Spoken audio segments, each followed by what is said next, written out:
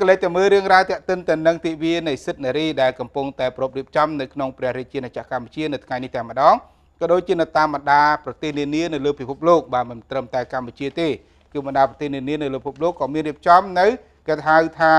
ទិវាបុណ្យសិទ្ធិនារីនេះផងដែរ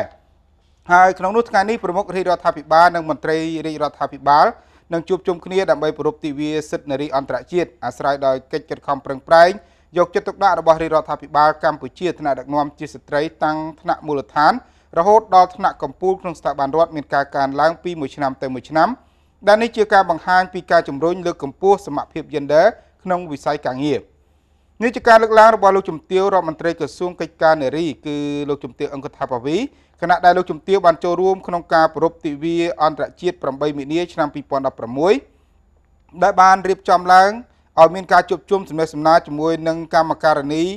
ប្រមាណជាជិត300នាក់ដែលកំពុងបម្រើការងារក្នុងតំបន់សេដ្ឋកិច្ចពិសេសភ្នំពេញនៅរសៀលថ្ងៃម្សិលមិញលោកជំទាវអង្គថាបាវីក៏បានលើកឡើងផងដែរថាទិវាអន្តរជាតិឆ្នាំនេះគឺជាខួបលើកទី105គឺថា2016ហើយបើនិយាយទៅគឺថាការប្រពនៅទិវាសិទ្ធិនារីនេះគឺកើតមានតាំងពីឆ្នាំ1911មកម្លេះមកម្លេះហើយត្រូវបានលើកយកប្រធានបទមួយដែលស្រប តាមបរិបទបច្ចុប្បន្ននៃប្រទេសកម្ពុជានោះគឺការវិនិយោគលើសមភាព gender ដើម្បីកិច្ចអភិវឌ្ឍប្រកបដោយចីរភាពហើយក៏ស្របតាមការលើកកម្ពស់សិលធម៌សង្គមតម្លៃស្ត្រីនិងគ្រួសារខ្មែរជាពិសេសការបដិញ្ញាចិត្តពន្លឿនការធ្វើឲ្យសម្រេចនៅសេចក្តីប្រកាសនិងផែនការសកម្មភាពនាទីក្រុងប៉េកាំងដែលជាមូលដ្ឋានកតាលីកជំរុញការអភិវឌ្ឍជាសកលប្រកបដោយនិរន្តរភាព និងសមភាព gender រវាងបុរសនិងស្ត្រី ទៅអនាគតរបស់រាជរដ្ឋាភិបាលកម្ពុជានាពេលបច្ចុប្បន្នលោកជំទាវបានរំលឹកថាការប្រពៃទិវាអន្តរជាតិ8មិនិនាជារៀងរាល់ឆ្នាំគឺដើម្បីរំលឹកពីការតស៊ូរបស់ស្ត្រីទូទាំងពិភពលោកក្នុងការទាមទារសិទ្ធិសេរីភាពប្រជាធិបតេយ្យនិងការអនុវត្តសិទ្ធិស្មើគ្នារវាងបុរសនិងស្ត្រីនៅក្នុងការអភិវឌ្ឍសង្គមព្រមទាំងការបំផុសគៀងគរប្រជាជនកម្ពុជាឲ្យធ្វើការរួមគ្នាដើម្បីឈានទៅសម្រេចបាននូវសមត្ថភាពពិតប្រាកដរបស់ស្ត្រី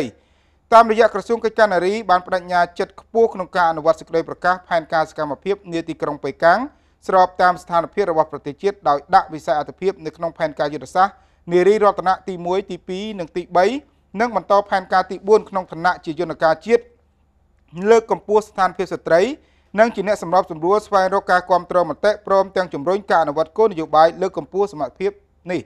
ហើយដល់ឡៃលោកជំទាវលឹមជឹមលឹមឈីវហូបាទលោកជំទាវអង្គញាលឹមឈីវហូដែលជាប្រធានក្រុមប្រឹក្សាពិបាលនៃតំបន់សេដ្ឋកិច្ចពិសេសភ្នំពេញបានឲ្យដឹងថាតំបន់សេដ្ឋកិច្ចពិសេសភ្នំពេញបានវិនិយោគលើផ្ទៃដីប្រមាណជាជិត400ហិកតា និងមាន83ក្រុមហ៊ុនកំពុងតែប្រតិបត្តិការនិងវិនិយោគលើផ្នែកឧស្សាហកម្មធុនមធ្យមដែលទទួលប្រជាពលរដ្ឋឲ្យចូលបម្រើការងារបានជិត20000នាក់ក្នុងនោះស្ត្រី មានប្រមាណជាជាង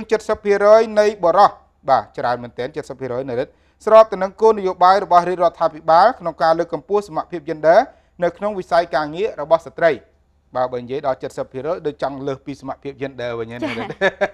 បើសមភាព gender គួរតែ50 50ទេដល់ឥឡូវខាងស្ត្រីមាន70អញ្ចឹងខាងបរោះដូចទៀបជាងវិញគួរតែលើកកម្ពស់សិទ្ធិបរោះម្ដងលោកសុផចង់តវ៉ារឿងលើកកម្ពស់សិទ្ធិបរោះវិញចា៎បាទអត់ទេយកចាស់បាទយើងឃើញថាបាទមានការរៀបចំបាទមិនត្រឹមតែនៅតំបន់សេដ្ឋកិច្ចពិសេសទេ នៅរោងចក្រ សហគ្រាសមួយចំនួននៅថ្ងៃនេះក៏មានរៀបចំពិធីផងដែរហើយមួយចំនួនគឺបានរៀបចំតាំងពីថ្ងៃម្សិលមិញហើយមួយចំនួនទៀតគឺថាអត់រៀបចំនៅថ្ងៃនេះទេគឺរៀបចំនៅថ្ងៃស្អែកដោយសារទុកពេលវេលានៅថ្ងៃជប់សម្រាប់ហ្នឹងឲ្យគាត់បាននៅផ្ទះឲ្យផងឲ្យបានដើរលេងកំសាន្តផងបើថ្ងៃជប់សម្រាប់ហើយនាំគ្នាមករៀបចំពិធីដដែលដូចអត់អត់បានសម្រាប់ដដែល